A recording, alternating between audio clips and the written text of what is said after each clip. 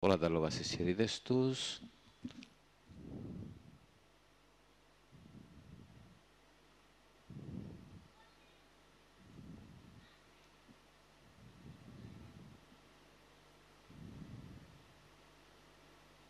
Και έτοιμα.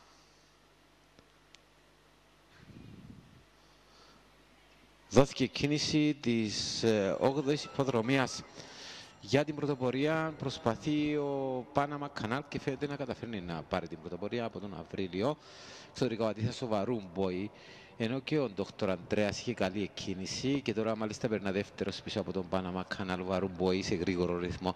Ο Δόκτωρ Αντρέας και ο Βαρούμποη πιέζουν τον Πάναμα Κανάλ. Ο Εύανθος μένει πιο πίσω με τον Ατίθασο, Αβρίλιος περνάνε τον Πάναμα Κανάλ. Ο Δόκτωρ Αντρέας μαζί με τον Βαρούμποη.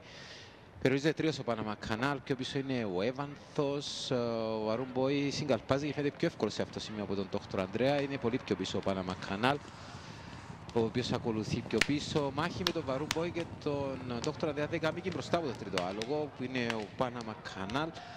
Ε, ο Βαρούμποη παίρνει τώρα το προβάδισμα στα δύο μήκη από τον Δόκτωρ Αντρέα πιο πίσω και αποσπάται τώρα ο Βαρούμποη 3-4 μήκη. Βαρούμποη με πολλές δυνάμεις θα κερδίσει εύκολα την υποδρομία. Δόκτωρ Αντρέα στη δεύτερη Αφροδιτούλα Σταρ και Γιάνν Μαρία.